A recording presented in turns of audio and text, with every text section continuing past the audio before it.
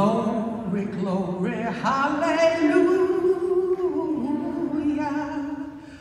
Lift every voice and sing. How about that one? I no longer am a slave. Christ is risen from the grave. Christ is Lord. I am saved, Paula, and I'm free.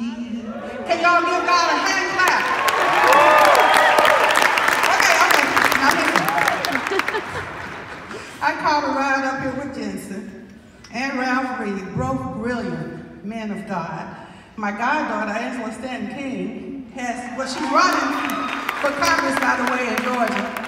And so, Candy Carson, I'm going to sing with you in December, I promise. Secretary Carson, hello. Paula, John, wow. Okay, that, I've got three and a half minutes. Let's look real quick what God has done in and through President Donald John Trump, his family administration, prayer partners, and we just, everybody say, thank you, Lord. Thank you, Lord. Hallelujah.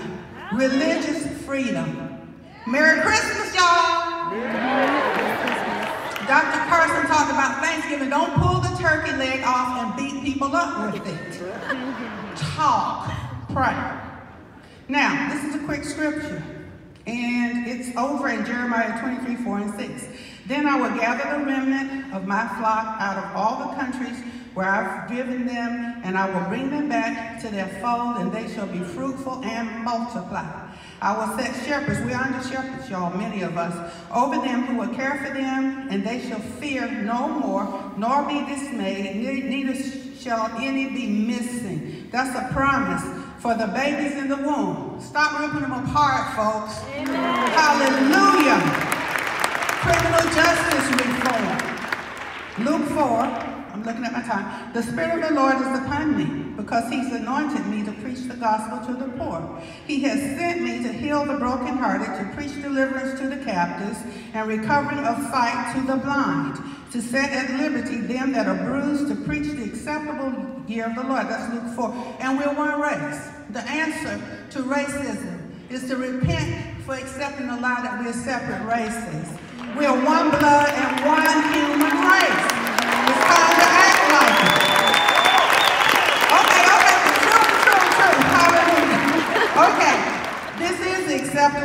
Year of the Lord, an acceptable year for and before the Lord. With President Donald John Trump, and I can't, he and First Lady Trump have caused the White House, America's house, to be called a place of prayer. Mm-hmm. Y'all clap on that one. Hallelujah.